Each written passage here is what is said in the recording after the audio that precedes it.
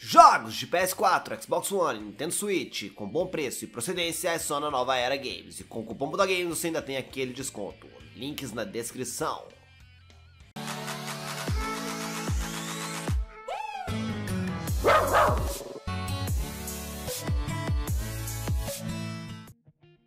Fala galera, Buda Games na área, trazendo aqui mais um vídeo gameplay comentado para vocês. E hoje para falar sobre um tema no mínimo, no mínimo curioso.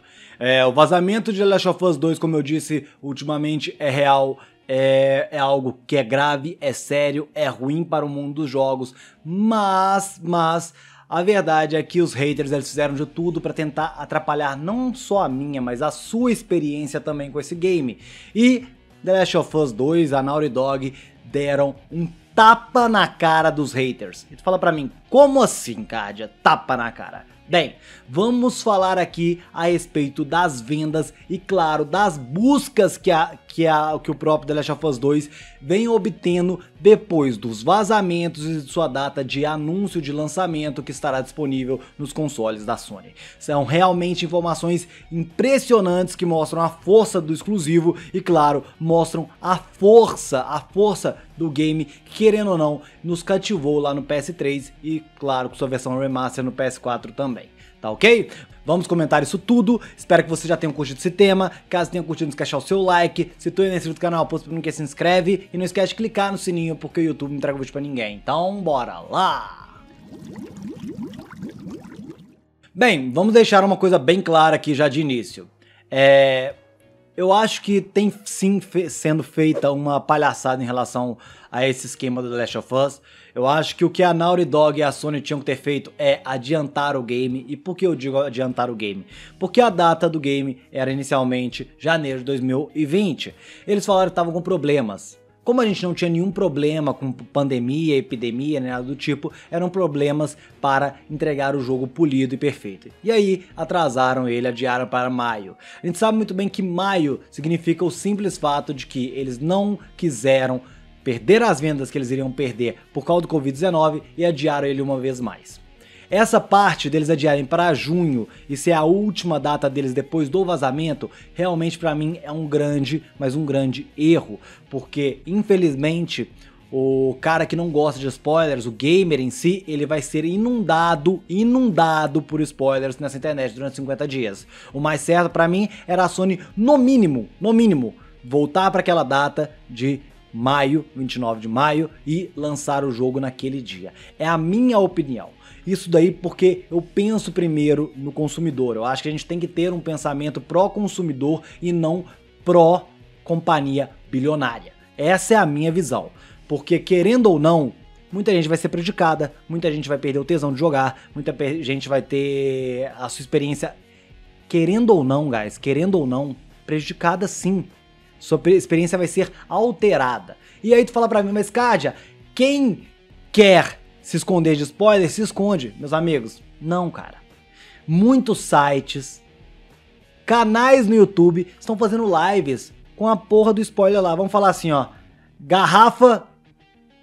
Garrafa acabou em jogo. Vamos falar que Garrafa é o personagem principal. E ela era necessária durante o game. E aí os caras estão botando no título da live. Adeus Garrafa. Já era. Adeus Garrafa. No título da live no título do próprio site, do próprio, da própria matéria. Muita gente fazendo isso. Muita gente. E isso não tem como escapar. Sabe por quê? Porque querendo ou não, o YouTube, o Google, ele vai te notificar isso daí, caso você goste de games, caso você tenha o costume de procurar games na internet, porque ele vai ver que esse tema tá em alta. Quando ele vai lá e olha que a live da garrafa deu 100 mil views em duas horas, por exemplo, ele vai pegar e falar assim: eita porra, espera aí, vou notificar isso aí pra todo mundo, porque isso aí tá dando bom demais, é garrafa, garrafa já era, garrafa do Last of Us, vamos pegar e vamos mostrar isso pra todo mundo. Vocês entendem isso? Então, só que, querendo ou não, é uma coisa que realmente impressiona. Os fãs, os fãs, aqueles que estão cagando pra guerra de console, aqueles que gostam de game mesmo, eles não estão deixando a peteca cair. E é literalmente um murro, um tapa na cara dos haters. Não sei se é tapa, porque eu acho que foi de mão fechada, de tão bonito que foi. Quando a gente vê que, mesmo com tudo isso, The Last of Us 2 volta a ser o mais vendido em diversas plataformas de venda.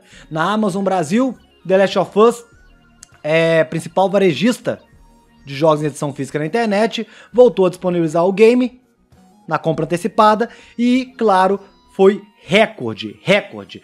O, na noite que procedeu os acontecimentos, novos e-mails com estimativa de entrega foram disparados aos computadores que, aos, aos compradores que permaneceram com a reserva. Uma coisa enorme. Muita gente já estava com a reserva antiga começou a receber que, olha, a gente vai conseguir a gente vai tentar entregar dentro de dois, três dias depois do lançamento. A gente vai tentar fazer isso depois de dois dias. De tantas reservas que existem. De tantas compras existentes. Lojas americanas, Submarino também, líder de vendas, líderes de vendas em diversas plataformas. Na Amazon americana, o jogo já está em escassez quando se fala de conseguir ele já no dia para retirar em mãos. Exatamente. Na Micromania de, da, da França, de Paris, a mesma coisa. O jogo sendo o mais vendido. A maior pré-venda da história, talvez, dos games, pode-se dizer que é de The Last of Us 2, apesar de todos esses vazamentos. E quando eu digo que é um tapa na cara, é pelo simples fato de que Pensem bem, meus amigos, pensem bem. O jogo está sendo vazado, divulgado.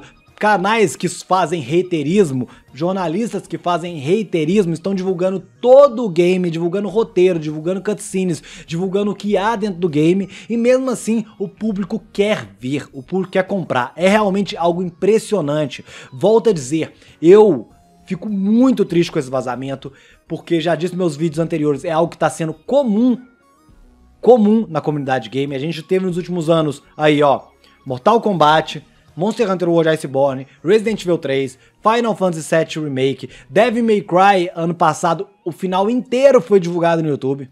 O final inteiro.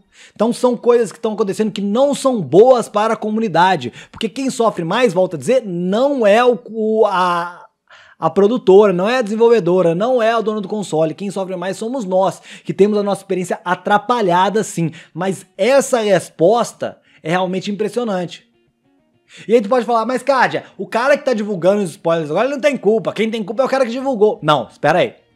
O cara que divulgou as gameplays, ele tem culpa. Ele tem culpa. Só que derrubar gameplay é até mais fácil que derrubar vídeo com spoiler. Por quê? Se cai um vídeo com gameplay, ele automaticamente é excluído pela desenvolvedora, pela Sony, pela Capcom, por todo mundo.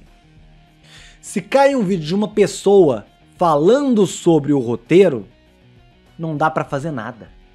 Vocês entendem que coisa injusta? Tu tem a sua experiência totalmente estraçalhada por uma pessoa e não dá para fazer nada. Não dá para fazer nada.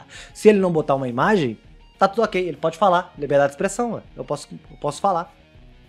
Claro que talvez ele possa vir a tomar um processo, aí já são outros 500, eu não faço nem ideia, também não tô mandando ninguém denunciar para dar processo em ninguém, só tô divagando aqui na minha cabeça. Só que se ele não divulgou gameplay, não dá para fazer nada.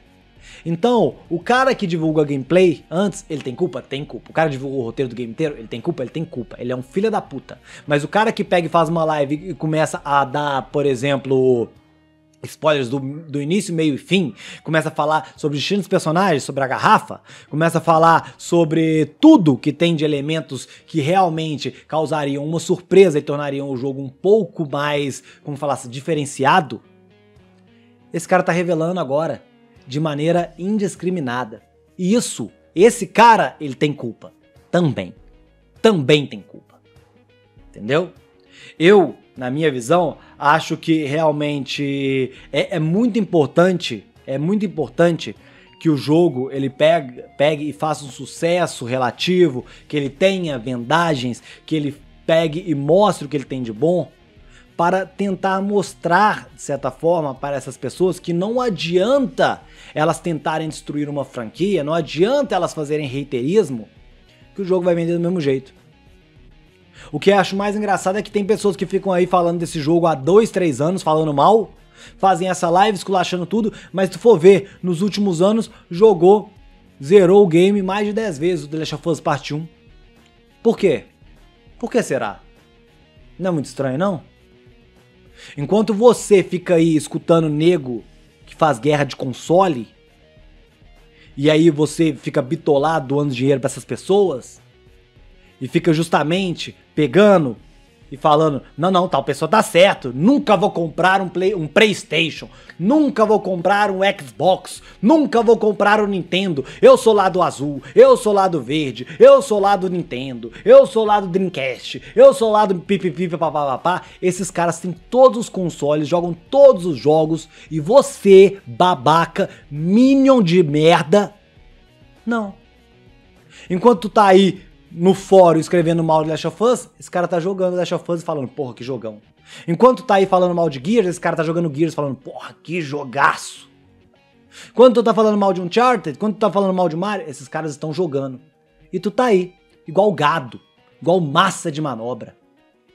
Então, esse fato do Last of Us estar vendendo mais do que jogos vão ser lançados antes, que o Last of Us tá vendendo pra cacete, mesmo com todos esses spoilers, mesmo com toda essa campanha de difamação para com o game, mesmo com toda essa campanha para com a difamação para com a Naughty Dog, falando que ela não paga funcionários. Mesmo com tudo isso, é realmente impressionante. É realmente impressionante. O mais incrível é que eu fui atrás de todas as formas desse lance de pagar funcionários. É, eu consegui achar assim relato de trabalho além das horas que ele tinha que trabalhar, trabalho em horas extras, mas eu realmente não consegui ver nenhum trabalhador que saiu de lá sem receber. É incrível isso. Como que você não tem o nome do desenvolvedor, como tu não tem o nome da pessoa, como tu não tem um processo, porque a gente sabe, quando a gente quer procurar um processo na internet hoje em dia, a gente consegue encontrar. Quando a pessoa está movendo um processo, até no Jus Brasil tu consegue encontrar, só para tu ter ideia. E tu não encontra. Que estranho, que mídia estranha, que não coloca fatos, que não expõe fatos, mas agora é a Naughty Dog que não paga funcionários.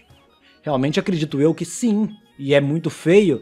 Realmente existem funcionários que com certeza devem trabalhar mais do que deveria trabalhar. E isso, meus amigos, é no cinema, é nos videogames. Não é só a empresa que é subsidiária da Sony. pode ver que o Red Dead foi a mesma coisa, EA é a mesma coisa. Todas essas empresas fazem isso. Que é uma desgraça, tinha que acabar isso também. Mas é engraçado, né? É engraçado como que no meio de um vazamento começa a surgir um monte de teoria de conspiração. Um monte. Daqui a pouco foram os OVNIs. Foram os OVNIs que foram vistos lá nos Estados Unidos há pouco tempo, né? Que vazaram da Last of Us 2. Fica de olho, viu? Abre, abre o olho, abre o olho. Os olhos vão estragar, estragar a indústria dos games. Não é o filho da puta que tá jogando videogame o dia inteiro, vive de jogar videogame, que fica inventando merda de notícia de fanboy. Tá ok? Comentem a respeito disso tudo aí que eu falei. Espero que vocês tenham curtido esse vídeo. Caso tenha curtido, não esquece de deixar o seu like. Se tu é inscrito no canal, posso que se inscreve. Não esquece de clicar no sininho porque o YouTube não traga vídeo pra ninguém. Então falou da gang, aquele abraço e fui!